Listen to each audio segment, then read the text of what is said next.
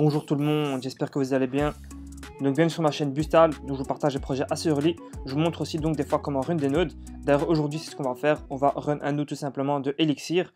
Donc avant de commencer bien sûr il faudra un compte Contabo. Donc je vous invite vraiment à venir sur ma vidéo ici où je vous explique comment créer un compte. Donc vraiment c'est assez simple.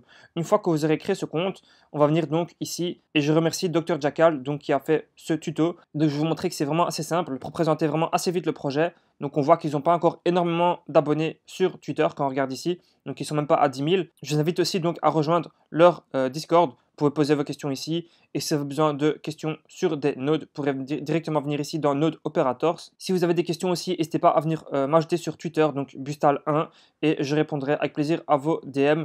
Donc euh, si je peux répondre à vos questions, bien sûr. Sinon, il y a les commentaires aussi de ma vidéo où vous pouvez poser des questions.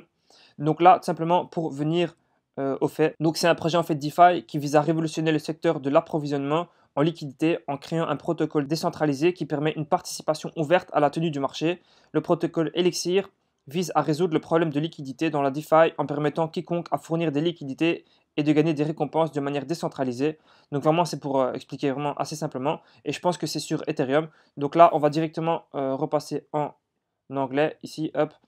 Et donc, comme je vous ai montré là tantôt, il faut euh, voir ma vidéo si vous n'avez pas encore un compte sur Contabo. Il faut se connecter donc sur votre terminal. Moi, je suis sur MacBook personnellement. Ensuite, vous devez créer un compte MetaMask. Ça, normalement, c'est bon pour vous. Par contre, la subtilité, c'est qu'il faudra donc euh, exporter la clé privée. C'est pour ça, en fait, que je vous conseille vraiment d'avoir un compte MetaMask euh, différent de celui que vous allez utiliser pour faire des transactions avec des applications Web3. Donc moi personnellement, j'ai pris un compte MetaMask donc ici. Ce que je vais faire, c'est que je vais venir donc dans les trois petits points. Ok, je vais faire détail du compte.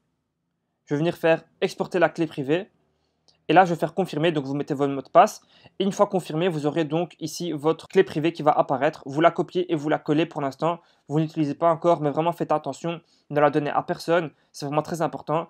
Donc c'est pour ça que je vous conseille de prendre un autre MetaMask parce que ça peut vraiment être dangereux si vous utilisez votre MetaMask tous les jours. Donc voilà, moi je vais faire confirmer et je vais avoir ma clé privée qui va apparaître. Donc je vais la copier et je vais la mettre sur le côté pour l'instant. Donc il explique aussi ici, voilà la clé privée ça donnera ça à peu près. Vous la copiez et vous la mettez de côté. Surtout ne la divulguez à personne. Ensuite, la préparation. Donc là, normalement, on est connecté à Contabo. Je vais venir copier ici. Donc sudo apt update. Ça, c'est toujours la même chose. On colle. Ensuite, on va venir ici, copier. Ne vous inquiétez pas, je mettrai donc le lien du médium en description de la vidéo. Ok, on vient coller ici. Enter. On va venir installer screen. Donc, hop, on copie on colle Enter. Donc là, on va installer Docker Compose. Hop, on copie tout ça. On vient ici, on colle Enter. On va venir copier ça aussi. Hop, on colle Enter. Ensuite, ça, on copie, on colle Enter. Là, on va download le validator Dockerfile. On colle Enter. On va sudo nano, hop, tac. Donc là, on arrive ici. Donc là, avec les flèches, donc les flèches en bas de votre ordinateur, vous allez simplement venir ici dans adresse. Là, vous mettez tout simplement l'adresse du MetaMask. Ici, vous descendez, vous mettez ce que je vous avais dit au début, donc la clé privée que vous avez dû exporter normalement avec votre MetaMask. Et ensuite, vous donnez un nom à votre validateur. Donc ça, vous choisissez. Donc moi, personnellement, je vais remplir maintenant les informations ici. Donc là, moi, c'est bon, j'ai tout rempli. Maintenant, je vais faire CTRL X, d'accord? CTRL X. Ensuite, je fais Y, Enter. Donc là, c'est bon, on se retrouve ici de nouveau. Maintenant, on vient copier tout ça. On copie, on colle, Enter. Ok, donc là, on vient copier ça. Screen, ok, Enter. Ok, donc c'est bon, on arrive normalement sur une nouvelle page. Et là, on va launch le node. Donc là, on copie, hop, on colle, Enter. Donc là, on voit launching, ok. Donc là, c'est bon, il est occupé à run. Donc maintenant, on fait CTRL A plus D, d'accord CTRL A plus D. Donc je viens ici, je fais CTRL A plus D. Voilà, on s'est détaché du screen. Donc là, on peut voir tout simplement les logs, donc voir s'il est à jour ou pas. Euh, hop, on fait Enter. Ensuite, on va venir cliquer sur le lien ici, donc on clique, hop. Voilà, moi j'ai connecté mon wallet ici. Une fois connecté, on va venir claim donc des tokens.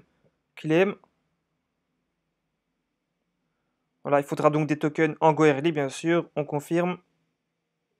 On va venir importer le token. Donc là, hop, on copie. On vient dans MetaMask.